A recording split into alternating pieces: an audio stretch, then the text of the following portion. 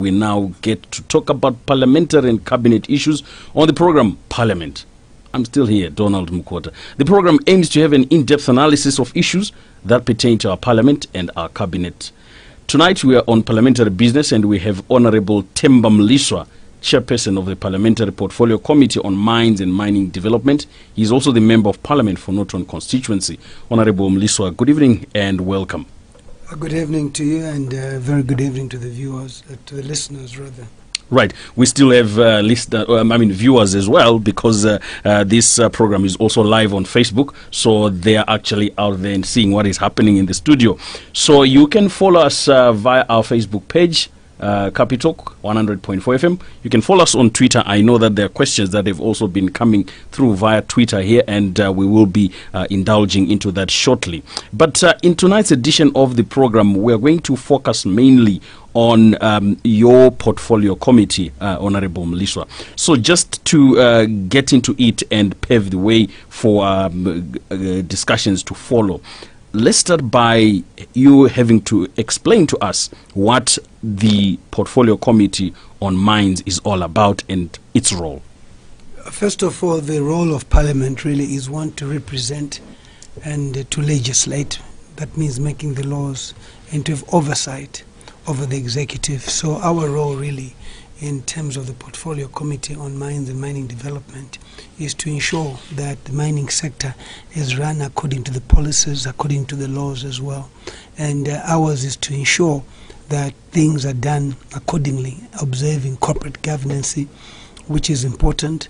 And I think there's the Act, uh, the Minerals Mines Act, which is there, which guides the way that uh, mining sector should be run. And we also equally there to also change the law uh, if need be. No wonder why we're working on the Mines and Minerals Amendment Bill to ensure that it also deals with the current situation, current environment, and that uh, you don't have Rhodesian laws, you've got Zimbabwean laws. We are aware of the small scale miners who are there, who mine gold. The old, the old current says they must be arrested, but that was during the Rhodesian time that they didn't want to see blacks with minerals. Right. But we also ensure that the laws are also enacted in a manner which uh, befits uh, the people of Zimbabwe. All right. Uh, let me take this opportunity quickly to say thank you very much to Oswald Bina. I see you are following this conversation via our Facebook page. Takawira Nyavira has also joined, and Fiona Ngube. Good evening. Thank you very much to know that uh, you're tuned into Capitalk 100.4 FM. So, at the official opening of the ninth session of Parliament, um, the President, uh, Emmerson Mnangagwa, laid down uh, the legislative agenda for this ninth parliament. Um, do you have, as your committee, anything laid out as your agenda for this first session of the ninth parliament? Yes, I think it's pretty clear that uh, the SONA, which is the State of the Nations Agreement, uh, sets the tone in what each uh, portfolio committee is supposed to do. And from a mining point of view, there's the aspect of productivity in terms of contributing to the GDP. And if you look at it, it's 14%, which you must contribute. Agriculture is 13%. It talks to you on uh, how important the mining sector is in contributing to the GDP of the country, which then results in a better economy, a better welfare of the people. We have legislation that we have to change in terms of the exploration bill as well, because we're talking about a country that that, that does not know the value, the quantity, and the, the, the quality of its minerals. And so, uh, you know, you're always shortchanged by the private players who come in with the uh, equipment to explore, and yet government doesn't. In 1964, there was a company created by the then Rhodesian government to be responsible for the exploration of the minerals. The reason why it is important is that we now know the thing life and the quality and the value of the minerals that we have. Right now, we just say we've got these resources, but uh, how long do we have them for?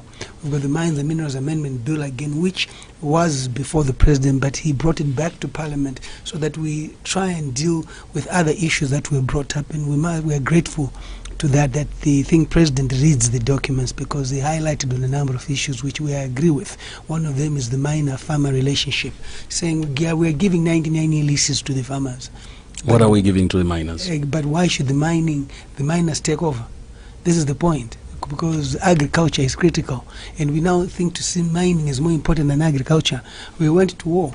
And uh, he is he's a war veteran of the struggle, as you know. So he went to war to ensure that the land was given to the people. So now the very same land that we're giving the people to, you're now taking over the mining. Can we also uh, normalize those relationships? As you can see, that the Mining Act supersedes any other act again.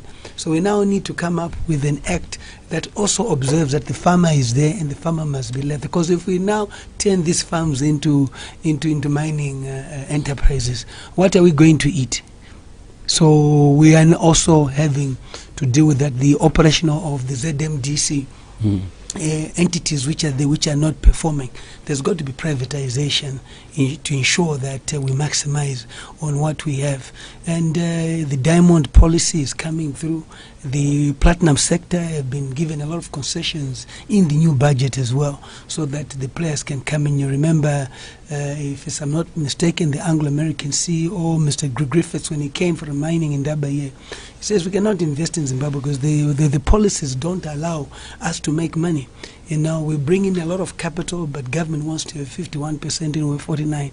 There's no ways we're going to do that. And when the budget was announced and these concessions were made in the platinum sector, I tweeted to him and said, now that uh, Zimbabwe is now open for thing platinum mining, are you coming? Because these are big players. You cannot Right, ignore right. Anglo-American and so forth. So they contribute a lot. In the mining houses in this country, credit must be given to them. Mimosa, Zimplats, Unki have, if you look at it, really uh, uh, complied with what is required of them from a social corporate responsibility and from also the taxation that they pay. So they and they are not doing anything outside uh, the law. They are working within the laws and contributing significantly to the Right. Uh, let's just quickly, um, uh, Honorable Mliswa, there are quite a number of contributions that have already uh, started coming through. One of them is coming from Mwendamberi. Mwendamberi says, Donald, uh, good evening. Please ask Honorable Mliswa what his committee is doing to put an end to the rot at Hwange Colliery. Uh, I totally agree with you. We, uh, we have an inquiry which is ongoing. You're aware of it. And I think today we try to continue with it. And those who followed, there was some disruption from other members of the committee, which I think uh, I must apologize to the nation that that's totally unacceptable. As Parliament, we must we must behave with dignity and integrity because we, no matter what political party we belong and no matter what differences we have, but you cannot behave in such a manner because an inquiry is there and we had invited Mr. Van Stratton, who is a major shareholder, second biggest shareholder, to also give us his position. Yes, the matter is before the courts, but he can also talk about things which are not before the courts. The issue was the Reconstruction Act, okay? And uh, I was very clear in my deliberation, in my summary to him that can you stick to what you think is the way forward? Because he's an outside investor, and Hwange is a stock listed company on three exchanges the London Stock Exchange, the Johannesburg Stock Exchange, and the uh, Zimbabwe Stock Exchange. So the investors in London want to know what happened, and the investors in uh, Johannesburg want to know what happened. So you cannot willy nilly, you know, reconstruct a company, you know, uh, the way that government did. But government must also justify why they did it. So that inquiry continues, and uh, we are there. And to, to me, the Wange part is, is, a, is a sad part for us because uh, uh, we need to ensure that our people enjoy the resources that they have within them and not allow people to loot and plunder these entities. Because if you look at the Hwange people, they are suffering because Hwange is not functional at the end of the True. day and they're blaming government. But we are coming in to say, no, no, no, no. But things have got to be done in such a way. And uh, we have a tough task to play. There's a lot of corruption which has gone on. A lot of people have benefited from it and so forth. High ranking people in that regard. But we leave no stone unturned. And as chairperson, I have to ensure that I am doing this in the interest of the nation. But it then becomes counterproductive when certain members okay, believe that they must protect certain people. That to me is unacceptable, and I think we have a lot to learn. If that's what representation is all about, then, If, you know- if such is happening within um, uh, uh, your committee, Honorable Mliswa, um, is this then not um, probably a sign of things to come where maybe we don't get even to the logical conclusion of the Hwange Colliery matter? Ah, handi vanoti takanda jecha saka jecha yacho mota yacho iri kudhiraivha ndei zanupf is a ruling party. It is a governing party saka chenjera kuti uri wezanup f asiri kukanda jecha muinjini yezanup f. Saka chii chinofa iinjini yezanup f? Saka and i warn this to the members of zanup f that you are going against the new dispensation. You cannot allow corruption to prevail and think that by kukanda jecha ina handina mota ka ina handina party yandinayo and the opposition is there it is watching. It is zanup f that must scrutinize its own policies internally. The policies which we have are zanup f policies so they must be the first to criticize. They must be first to, to iron out uh, any issue from a policy implementation which is not being done. Zero tolerance on corruption in in align with his excellency. And unfortunately i don't think zanup f has aligned itself to his excellency. The ordinary person in zimbabwe seems to be ahead of zanup f in terms of aligning themselves to the new dispensation. The president You, you get a sense that they are not uh, moving no, in tandem no, no. with, They with are, the president. And they, his call. they are totally in the former, uh, in the former dispensation, the regime. Right, let, let's quickly go back to our WhatsApp platform. I've got one that has come through here from 1773, and they say, please ask uh, uh, Honorable Mliswa to explain why he said he will be resigning as chairman.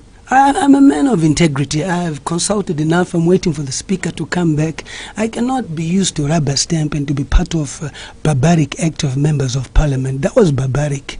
You don't expose yourselves in front of the witnesses, okay, in the way, even if I'm wrong as chairman, there must be a manner in which you address issues. And- Was it not emotional, Honorable? no, no, no, no. Is it not based on emotions? In terms of Your your your um, uh, decision to resign as chairman. No, um, but I'm considering that it's not based on emotions. I'm somebody who wants to do things properly. Okay, and I'm grateful for the opportunity I have. And to me, I have to ask myself, what value am I adding? But if we are going to be counterproductive and not expose and not uh, or, or get corporate governance to be followed, what is the point of being there? In the eighth parliament, I was chairperson and we tackled real issues. This is just Hwange. There's the gold inquiry coming through, which is more vicious, which is more dangerous. Are you with me? Now, if you are now, if you are now reacting like this, muchikanda jecha pawange kokuzoti ku gold, kokuzoti kuma diamonds kwatiri kuenda, kuzoti ku platinum kwatiri kuenda, ku lithium kwatiri kuenda. So you must now say to yourself, I'm leading a team, but I don't want to be a commander of a team which will not exec- execute. I don't believe in going to war with soldiers who are not ready or soldiers who will not play their role. We need to be to work as a team in national interest. I don't care which political party you belong to.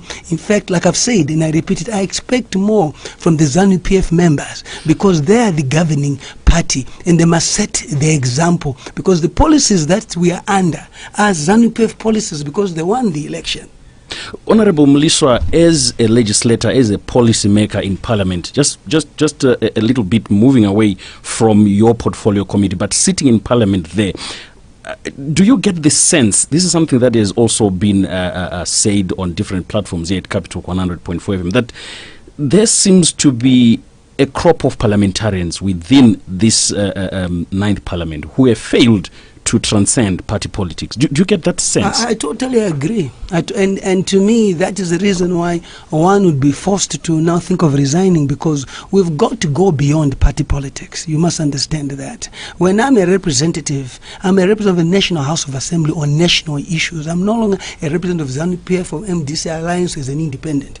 I go there and I look at national interests, and national interests are fixed. And it's pretty clear that we have people without capacity. And I also blame our constitution, I blame the political parties for allowing people who don't have capacity to then lead. Because you are there it's a mixed bag. There's somebody who has no integrity who's a member of parliament who does not even know what integrity and dignity is. So whatever they are doing they think kuti vari kutoshamisira kuti vachibloka maproceedings eparliament and so forth. Yet the institution in itself is now exposed. Who have faith in the institution which becomes the last resort for people to say this is the people's eye. So political uh, differences must be mu- mu- must not come in in terms of what we advocate for. When I'm a member of parliament, I'm a member of parliament for the people of Zimbabwe in Rushinga, uh, Tsholotsho, uh, Bikita, and when I bring up national issues, they are national issues. And to me, this is very sad because the eighth parliament had people who were from different parties. But when we, it came to us doing our work from a gold inquiry, we did it in the interest of the people. So to me, the political party whips have a lot to talk about uh, their members, but it's also them. Because you cannot have caucuses, you cannot have a, a, a committee which says before we make a decision, we must first of all talk to our political leadership, which is at ZANU PF HQ or which is at Harvest House. You cannot do that. You are already there representing them. So why don't you go ahead? So to me, we have a long way to go until drastic measures are made. What happened today? There's got to be decision made which sends a clear signal to the people of Zimbabwe that this is not a waste of taxpayers' money. You even go a step further and ask yourself, do I really deserve to be a member of parliament? Or I might as well just continue helping the people of Norton because I've always wanted to help them because I don't believe in wasting taxpayers' money. I'm one of the legislators who has not gotten a car in the 2013. I refused because I believed in ZimAsset that we must build our local industry. I did not get a car. Up to now, I still have not gotten a car. In fact, the car that I was supposed to get when I won in October 16, um, by election. I've decided to have two pickups. One becomes an ambulance for the people and so forth. So I'm not in it for anything other than to represent people, but I must make a difference. That's what makes me sleep. That today is Temba Mliswa. What is it that I did for the people of Zimbabwe? I managed to ensure that we expose corruption because corruption is the biggest problem that we have. Failure. You, you, you're being the chairperson of the Portfolio Committee on Mines and being a former member of ZANU PF. You don't don't um, feel like now you have a, vantage uh, point to settle scores, to settle beef with uh, uh, the guys in ZANU PF? Are you not? Are you, are you not? Are you not after anyone? I've, I've never. I'm very independent in my thinking, and I've never settled any scores with anyone. I, I must actually say that in the new dispensation, the position I have actually belongs to ZANU PF because uh, political parties are given committees and uh, and because of merit, uh, I was given this position, and I believe I mean it because of merit at the end of the day. But even if I was not chairman, I'm still able to contribute uh, effectively in Parliament by pushing for motions and so forth. But I never want to be put in a compromised position. ZANU PF, it is, if it feels that I am not the right person, they have a right to remove me tomorrow. But when they have me as chair, they are looking at me being the person to drive this. And to me, it says a lot when they are also behind the scenes having caucuses which affect the proceedings of parliament. To me, it really, really affects me. And I say to myself, the people are suffering out there. And why are we doing this in front of people, cameras, where an investor comes there, Mr. Nick Van Hoogstraten, with due respect, says, But is this how you conduct yourselves in Parliament? There's an investor coming in saying that. So, what picture has it given? You can never rub that. It's now record. And yet we are saying Zimbabwe is open for business. Uh, Honorable Mliswa, there is another one that has come through from Sekur Babafei. Sekur Babafei says, um, What is the latest news on the exploration of oil deposits in Muzarabani?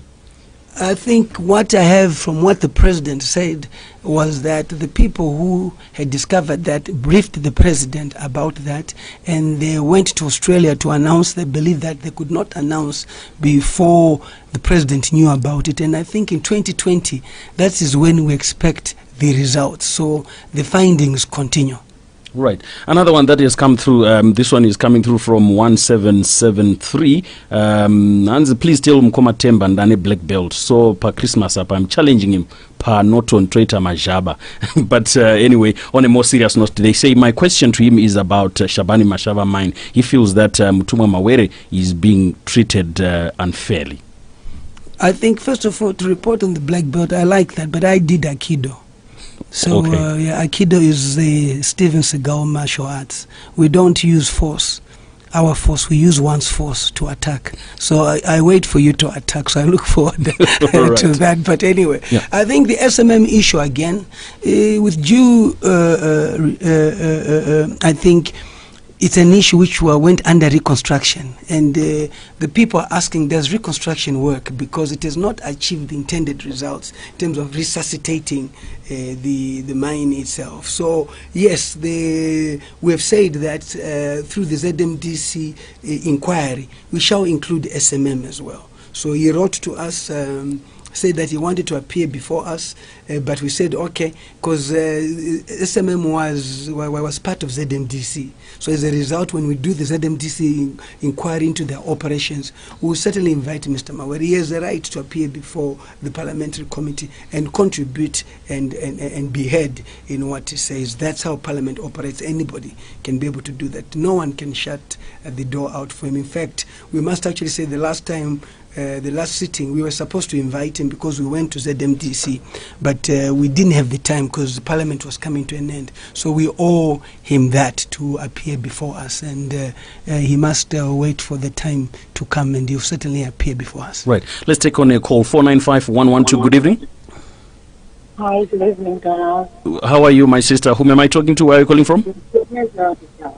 Abigail. Please, dama mudzorai volume mbichana, sister Abigail. Can you hear me now? Yeah, please go ahead. I want to speak to Mr. Sembamisa. He's here and he's listening. Uh, Honorable Sembamisa, I respect you so much. I'm glad that, you know, as a member of parliament, Makonde that uh, the conduct in which my imam, my, my legislators, Kinonyara is public. Kinonyara is members of public. Zvino zvinonyadzisa mahungu ari kuitwa muparliament and you think in the next within the next five years i'm happy that you know we are also seeing kuti zvinhu zvavari kuita zvakaita mahungu chaivo chaivo we are not happy as members of pub- public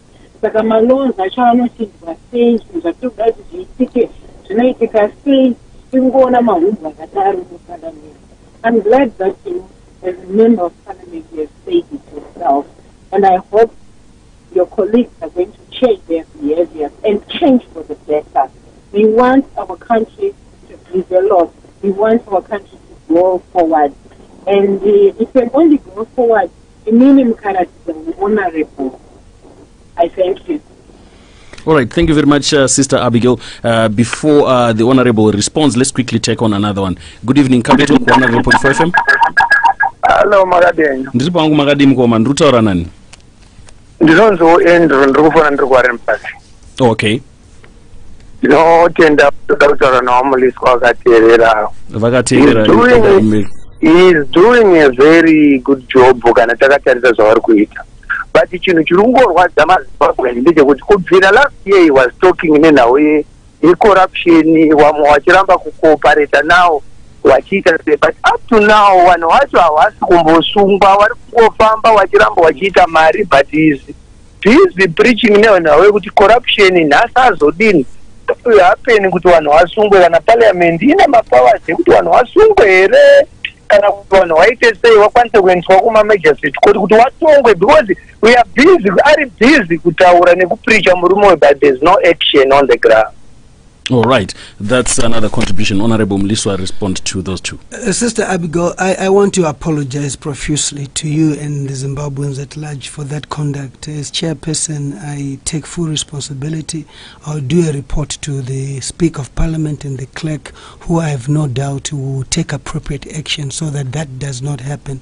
Because this is taxpayers' money at waste when the company, when the country is suffering so much and the little pennies people have are going towards that sort of behavior. I'm hoping that the party, uh, the ruling party ZANU-PF, will also reprimand those members because I don't think that that's what they support. I think the president is very clear. But of course, the president cannot control everything. You've got also office bearers in, in ZANU-PF who are at parliament who I hope will take 10 measures because if they don't do anything about that, no one will have confidence in this parliament. Again, in terms of co- co- co- corruption, I cannot agree with you uh, more than what you have said. Totally, I'm equally disappointed that the people who are arrested are also the wrong people. And I think uh, we, I, oh, I go back to the, the, the, the thing. President is, is, is, is speaking the right language, but there's no implementation to what he's saying. And this has a lot to do with the institutions below him. Where's the ZRP to arrest people? Anti-corruption itself as well. But how how clean is anti-corruption? How clean are the police as well? So there's the credibility of these institutions which are supposed to really arrest. Because I, I I totally agree with you. People get discouraged because we've been talking about this. That was the man, the same saying with the former president Mugabe that uh, we don't want corruption and we act on corruption. And yet there were ministers within his cabinet who were corrupt, and then they only get arrested after they are no longer uh, ministers. And I'm hoping that the president has put together a special committee in his office that will tackle these issues. I think he's realized that there need to be so many vices to deal with corruption, but the big fish are still there. They need to be fished out. And I think I would like a headline one day which says, Minister arrested while they are in office, not minister arrested after they're in office. That's my prayer dream. Honorable Mliswa, does Parliament have the power uh, to maybe through a parliamentary decree or I don't know whatever it is called to then say, you know, the same way that you summon maybe some people before your committee to then say this person should face the law or should go to the courts? You know, there's a Parliamentary Committee on Defense and Security, which most of these organs fall under, and the anti-corruption falls under the legal parliamentary committee, which is there. And uh, you know, I look forward to chairpersons and the committees of this bringing these people. Uh, before and say, but we have got these recommendations because we made recommendations in terms of our mandate, then the Mines and Energy Committee in the eighth uh, sitting of Parliament which some of them has not been implemented, saying, but this one must be investigated. This one must be investigated. But something that I can say to the president is that we did recommend that uh, uh, Dr. Obert Mpofu must not be a minister because he failed to respect parliament. And today we see he's not a minister. So I'm glad because that was the prerogative of the president. You made those, those Yes, we recommendations did. We as did. a committee. We, we made, made that recommendations. We also said uh, Wicknell Chivayo must also be investigated. We also named a number of people that must be investigated. We also talked about the diamond situation that the takeover then was wrong. Can these diamonds go back to the original owners? But we also see that that has not been implemented. So now we ask ourselves, if it has not been implemented, what is the role of Parliament? Are people undermining Parliament? But yes, Parliament has certain powers to hold you in contempt. And we have said to the Minister that if he does not implement our recommendations or comply with them, we have no choice but to hold you in contempt. But the problem that there is now, this is a minister, a government minister belonging to ZANU PF. And the, the majority of the members in these committees are ZANU PF because they control two thirds. Are they willing to see their minister being held in contempt? This is where the shenanigans start, and this is where people start losing faith. This is where I'm urging that if ZANU PF is to be part of this new dispensation, they must be in the forefront of arresting and recommending those who are corrupt, those who are working against their own policies. Until we get to such a stage, it remains a talk show. Right. Honorable Mliswa, do you, in the work that you have done uh, uh, as, as a committee, uh, starting with uh, the, the, the last session of the 8th Parliament, for example, I'll, I'll draw your attention to that one, and uh, what has happened recently, do you fear for your life? Uh, the reason why I'm asking this question is actually coming from a listener who says, I think Honorable Mliswa is the best person for this job. I just hope he will reconsider his said resignation, but I fear for his life. You know, I, I, I, I- want to, to, to, to thank that. I, I- get cars coming to my house without number plates looking for me. And uh, at times I've been offered extra protection, but I've said, you know, I'll be, I'll be, I'll, I'll, I'll be insulting God.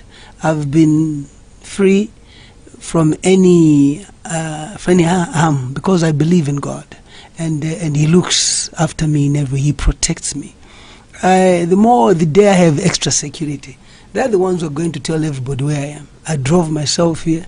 I'm going to drive back again, and uh, and I feel quite safe in this country because we have God-fearing people, we have loving people who I know wherever they are, they are praying for me. It's not my prayer alone, but they also pray for legislators like myself and others who are performing, so that we are protected by God. And those prayers. I thank you for them, and uh, let's discharge our duties. I am prepared to face whatever for as long as what I am doing. I've always said this to my kids if anything happens to me, but it's in the interest of the nation, then I will die a happy person. Because that's what I chose to do, and uh, and to think represent people wholeheartedly and with passion. Right, let's take on another contribution uh, coming through our WhatsApp platform. This is 7453, and quickly we'll go to our telephone line. I see my lines blazing there. This one is uh, coming from Steve Gewa, and he says, I have a question to Honorable Mliswa. There is rumor that there are Chinese nationals who are pegging mining claims and reselling them at exorbitant prices. Please, can you address this as Parliament? Foreign nationals should not be doing such, uh, robbing our minerals. Uh, so you, might want to hold on to that one before you respond. Let's quickly take on somebody on the line. Capital, good evening. Eh, mkoma Joni, Mukoma Masimba, munotamba ere ndinotamba kuri sei?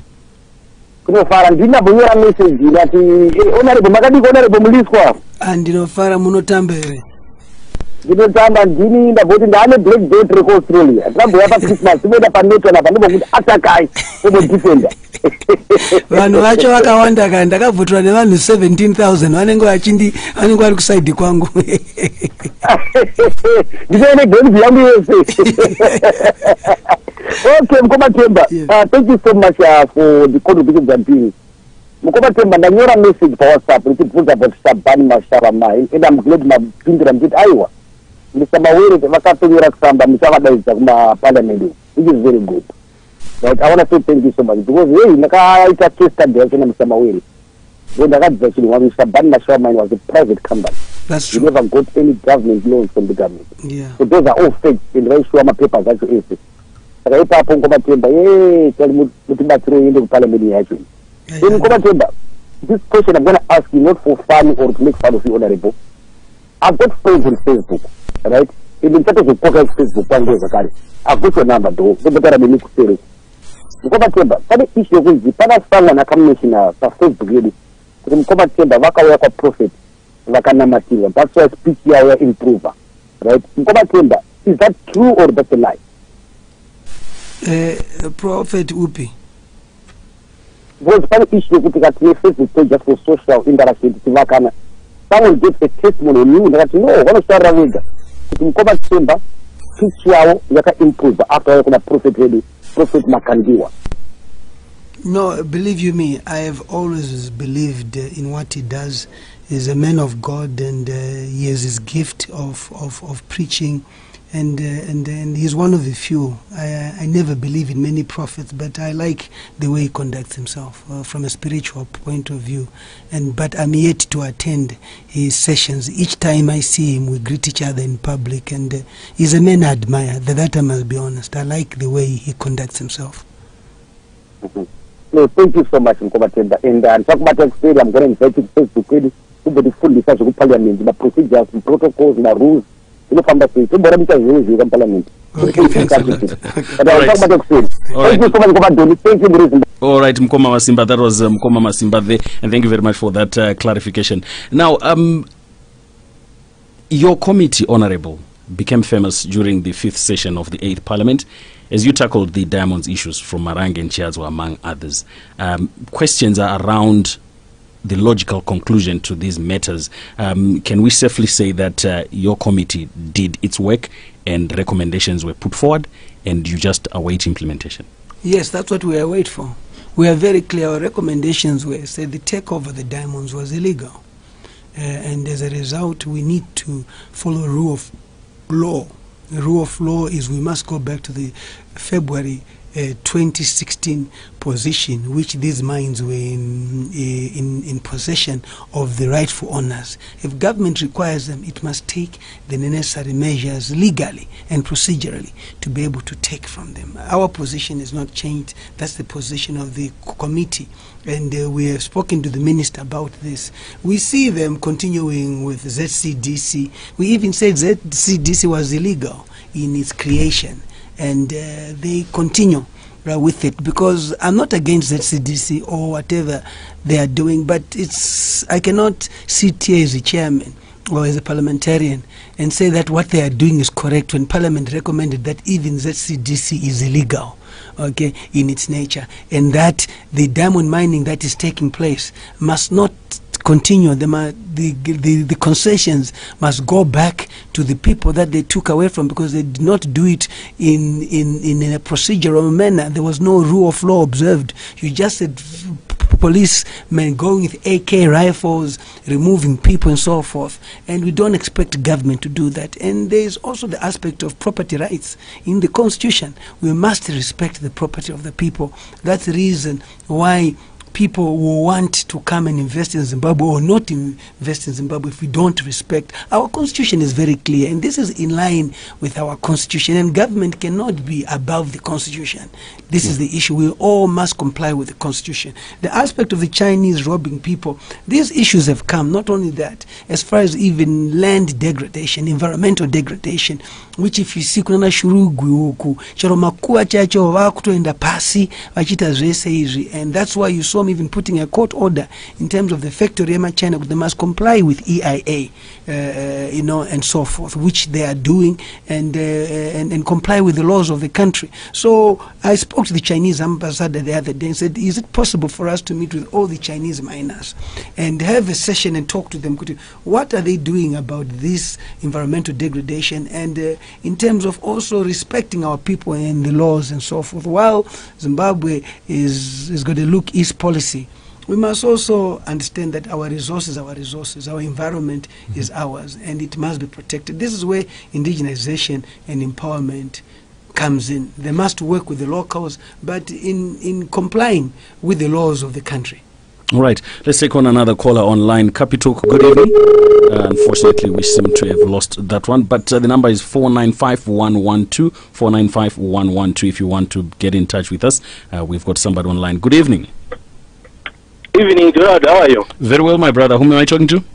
It's Chairman. I'm calling from Kwaza. Pariseipa Kwazana, Chairman. Uh, but right, Donald. In, I would like to talk to Honorable Mliswa. Thank you very much, Honorable, for the splendid job ndinobvunza uh, of late there are a lot of ma deals which were signed by the president and uh, most of them they were involving mineral resources i would like to ask you, honorable mliswa kuti parliament was it involved in the signing of those deals and if it was involved uh, pane mageologist here akatanga aita evaluate mamineral resources iwaya kuti tizobuda nevalue yema4 point 2 billion ma3 point 2 and my point two billion UIS. That's my contribution. Thank you, Donald.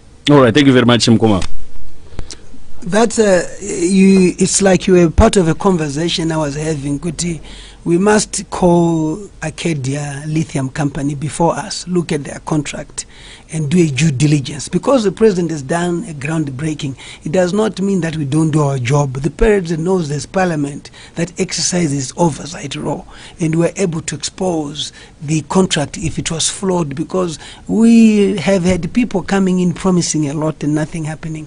And these deals have been a lot, but there's nothing on the ground. If you look at the budget by the Minister of Finance, mm-hmm. uh, Honorable Professor Mthuli Ncube, it talks about 168 billion uh, deals, but of that, what is on the ground? There is nothing. So a due diligence needs to be done. Gaika, look at the road. It was signed groundbreaking, but nothing happened until the President um, Mnangagwa had to recall that uh, contract, you know, cancel that contract because these people did not have the money. So that is the role of Parliament, and uh, we've gone a step further by inviting the Reserve Bank to do a financial due diligence on every company that invests in Zimbabwe. Could, do they have the money or don't they have the money? And we invite them, could, when are you starting these programs?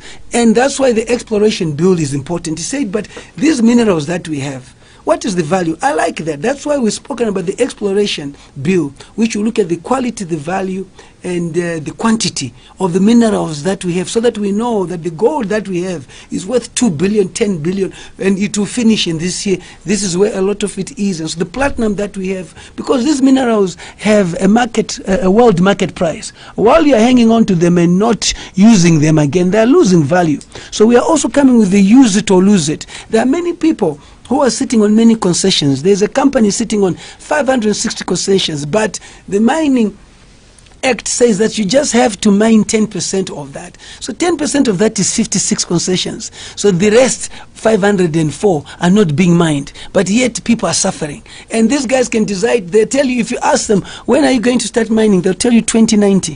2090, you and I will not be there. So these are some of the laws that we're changing, and that's a very important input. And the exploration bill certainly will address that. All right. Uh, good evening, gentlemen. There have been numerous reports raised by the Auditor General, Miss Chiri, in all different ministries, including mining entities, but no action was taken. This has been done for years. Mismanagement reports have not been investigated. What are you doing, Honorable Mliswa, to ensure walking the talk and not giving a blind eye to these issues? This is Kuda in Hillside.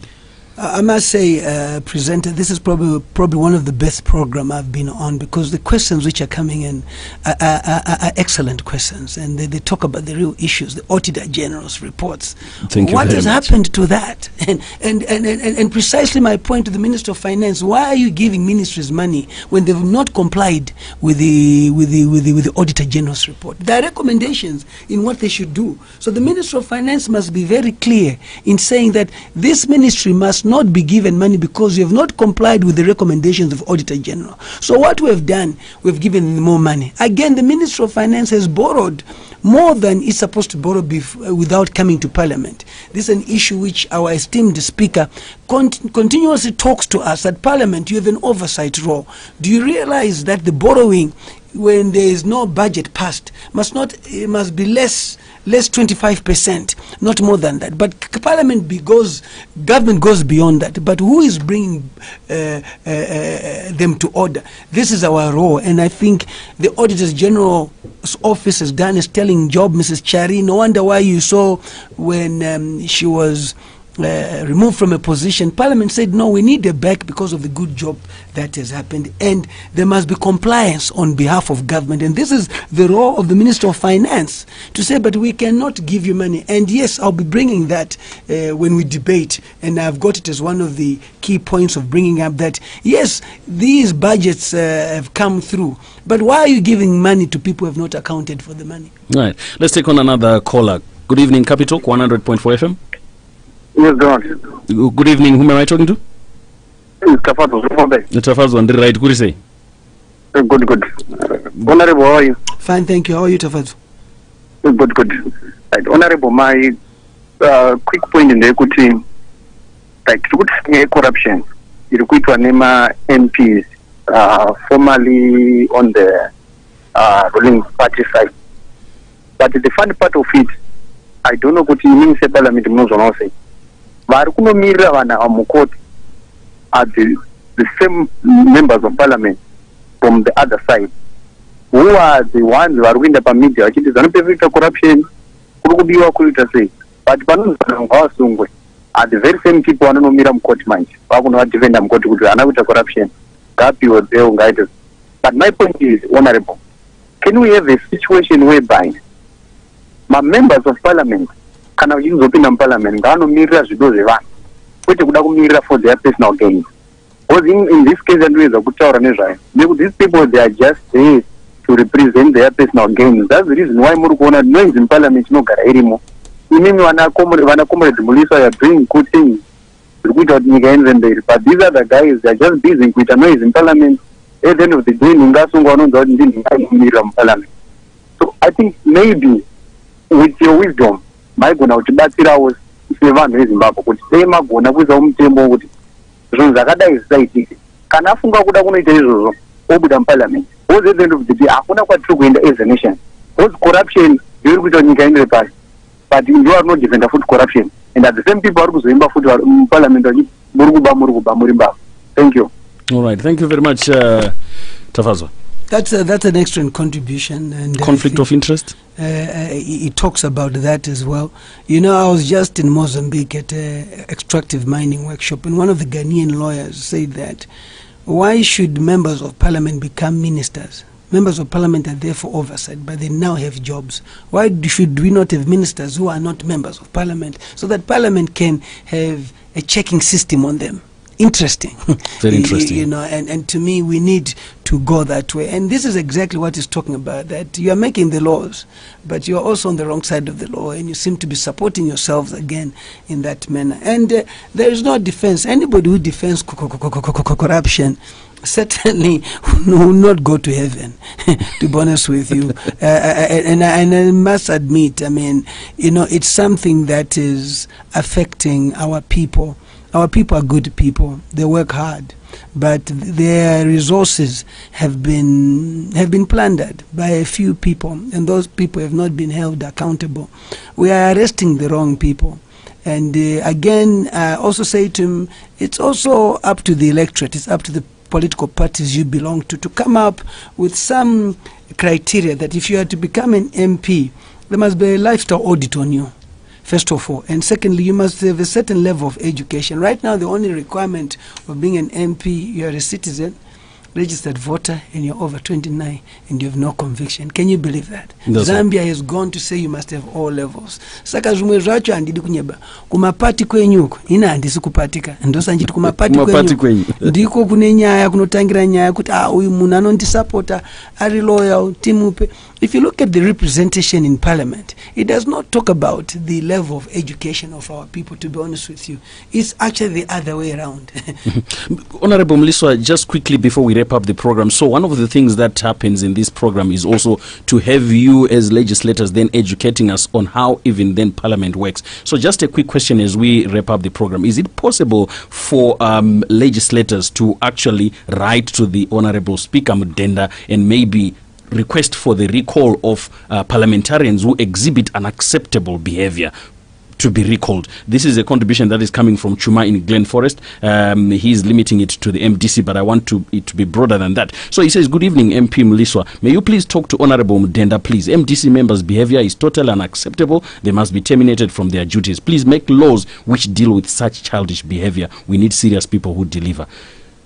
Can you do that as, as, as a legislator? That's a good one. 129K of the Constitution, 129K, read it, talks about the party having power to withdraw its candidate because most of these people are under a party ticket.